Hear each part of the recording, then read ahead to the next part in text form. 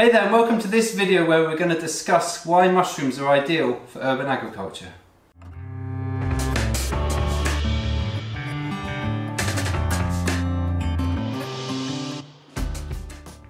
So it might sound like a bit of a trend, urban agriculture, urban farming, but it's been around for millennia. So I was lucky enough a few years back to visit the ancient city of Machu Picchu in Peru.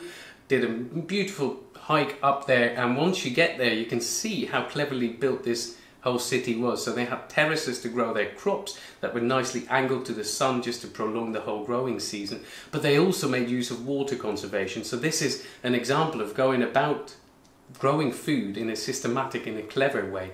And uh, there's plenty of these examples. But I think from, for now, the trend is increasing. It's becoming more and more due to simple statistics like the UN, who think that by 2030, two and a half billion people will live in our cities.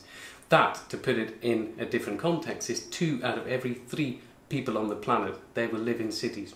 So it makes complete sense to once again look at where we're cultivating our food. So at the moment it's all industrial scale and it's often very far away from where the major cities are, so there's a lot of transport involved. And that doesn't need to be the case. So if you look at a company like Gotham Greens in the US, and there's plenty of other examples, but just look at these um, people, they typically produce in greenhouses, that glass house that they put on top of existing buildings, and they're doing so very successfully. So they've got five of these quite large farms on the go at the moment. So a lot of urban farming projects tend to focus on growing leafy greens and that makes a lot of sense because they're something which is best eaten when fresh and if you can supply them close to where people live you've got a distinct advantage as a local producer in doing so. Um, but mushrooms are actually pretty similar in the same way that they're best eaten when fresh and so we think it's a crop that works really well in cities but on top of that there are a number of other reasons why it works particularly well. Uh, first up, a lot of uh, people that grow leafy greens um, grow them actually inside with LED lighting and it actually uses quite a lot of energy to grow plants under lights. Mushrooms, however, don't need all that much energy in the way uh, in the form of lighting, and so they work uh, really well actually growing them indoors for that reason.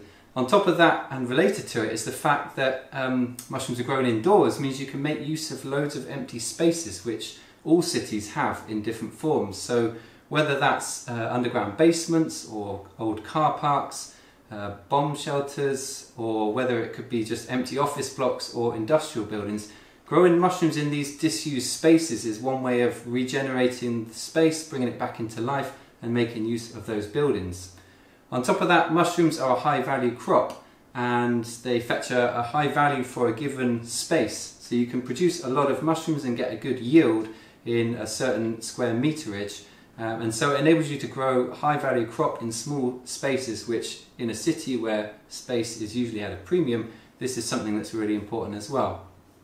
And on top of that, there's the fact that uh, mushrooms, like I said, they work really well when they're fresh, and so you have an advantage as a local mushroom producer to produce them in a city over mushrooms that have been grown from far away. All of these ideas are something that excited Eric and I a lot many years ago on top of the fact that you can grow mushrooms on coffee grounds. So back in 2011 we were really inspired by this idea and we've got another video actually if you're interested in learning more about how to check out uh, check out that video on how to grow mushrooms on coffee. So at the time we we were driving in and out to the city where we're based here is around about 45 minutes from the nearest city but we were so interested in this idea that we would just jump in the car every day head up to the city and pick up all the coffee grounds and bring it back to our farm here in the countryside. And it didn't take us long to realise that that wasn't the most efficient way of doing it. Uh, we realised it made more sense to have the farm in the city. Um, so we wanted to kind of show this and uh, showcase this idea a little bit. Um, so we found a space, a disused office block, uh, right in the centre of a city called Exeter, which is in the southwest of England. And we set up a farm there that we ran for a few years, which was a really cool project. Um, so let's take a look at what that farm looked like. So Adam mentioned how we're in the city and that had a few different um, benefits for us. It was a great time because there's a lot of coffee waste in the city and the coffee waste is ideal to grow mushrooms on because the brewing process, it renders the coffee waste pasteurized and that's the point when you want to introduce it to the mushroom spawn and then it can just thrive and grow away on this food that it's found that we've introduced it to. So Adam also mentioned we were right in the centre of the city and that's had a few advantages for us as well because that meant we could just collect using a bike and a bike trailer and that saved a bunch of heavy lifting because we used to lift it with bin bags over our shoulder and take it back to the car. So that was all really uh, much improvement for us. The other thing is that because we were so central there were so many cafes around us that we could just choose the ones we wanted to collect from and all of the cafes Depending on the time of year, we collected between five and 10 cafes, their waste, we took it back to the farm. All of those cafes were within a stone's throw, really, 150 metres or so from the farm. And that simplifies things a lot, so we could get our hands on a lot of coffee waste within 40 minutes or so. So that was step one, collecting by bike. We would then take it up three stories high, take it to the mixing and inoculation room.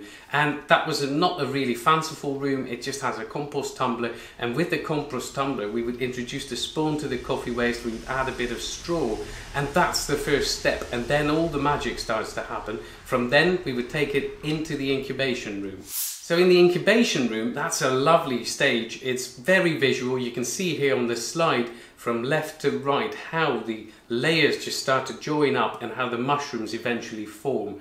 This was just set a scene set basically. This wasn't how we fruited most of the mushrooms because that would be the next stage. And you can see here in the fruiting room just bag after bag after bag of fruiting mushrooms and it's just an absolute miracle to see. You can see this in the time lapse here. It just grows so quickly and that comes back to the point Adam made earlier that you don't need so much space it's a really high yielding crop. And for instance, in the space you can see here, which was about 20 square meters, we could, could produce 75 kilograms of mushrooms every week. So that's the excitement of the fruiting stage. And obviously for us, the other benefit then was the next stage is you are basically where your customers are as well. So what we used to do is we would supply, for instance, the real food store, which again was only about 100 meters away from our farm. And they would sell local, ethically produced food to local customers. So all of this, you now get the sense, if you think about this as a system, it's a wonderful example of how you can turn what is essentially a large waste stream into hyper local food without any of those food miles. So as you can imagine, this concept of turning waste in the middle of a city into delicious, healthy food really resonates with people. Um, but of course, we're not the only people that have been doing this. Um, there are a number of other urban mushroom farms out there. Um, for example, there's RotterZwam, who are in the Netherlands, and they used to grow mushrooms inside an old swimming pool. Uh, they actually had a fire there a couple of years ago, and so they've rebuilt their farm in shipping containers in another location um, in Rotterdam. Uh, they are growing mushrooms on coffee and supplying them in the local area every week. There's also a similar project in Brussels in Belgium called Permafungi, um, also grow mushrooms on coffee grounds and they also make mushroom kits similar to the ones that we make uh, for people to grow mushrooms at home. And um, also a project in Australia called Life Cykel. Uh, we actually had the pleasure of helping those guys to set up a few years back and they're growing mushrooms on coffee grounds in Melbourne but they've also um, developed a program to help set other mushroom farms up in other areas. Their aim is to have one in every urban area in Australia uh, by 2020. Um, so as you can see, it's a concept that catches on, it works really well, um, and it's really nice to see this spreading to all the other places. It's something that we've always wanted to see happen over the years.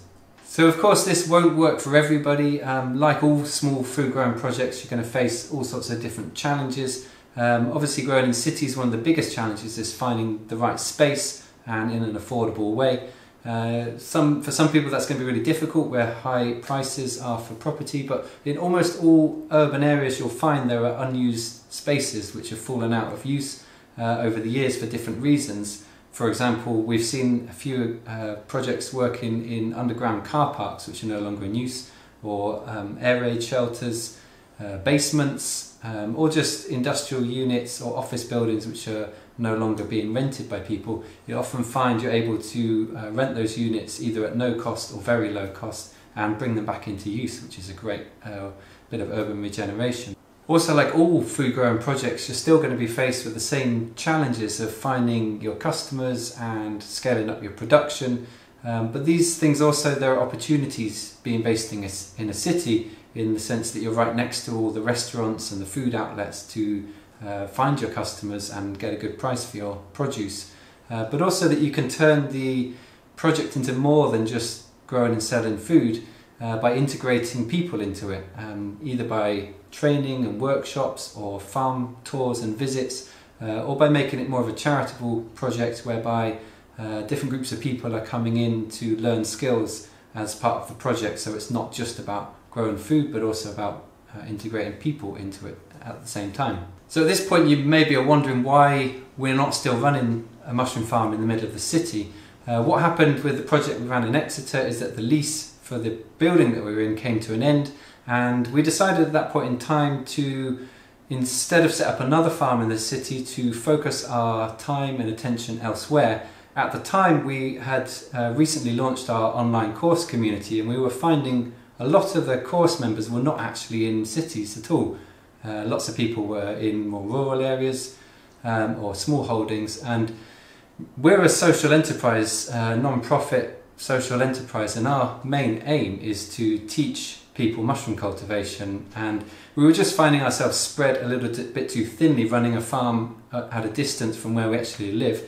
And so we decided to focus on the farm we've got here in the countryside and focus our time, energy and efforts on teaching and education uh, which is what we now spend most of our time doing every single day.